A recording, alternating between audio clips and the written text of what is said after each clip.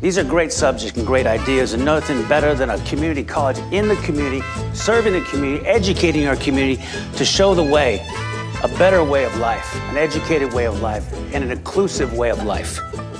It's a safe place. Feel free. It's not every day I can come to Cicero.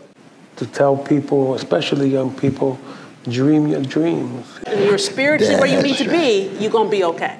You know, I got to thank Rick for starting Latino Thought Makers. I think it's a brilliant idea. You're like family and I mean it. I want you to know everyone is welcome to this conversation. And I think it's a conversation that I want everyone to feel a safe environment to talk about these things.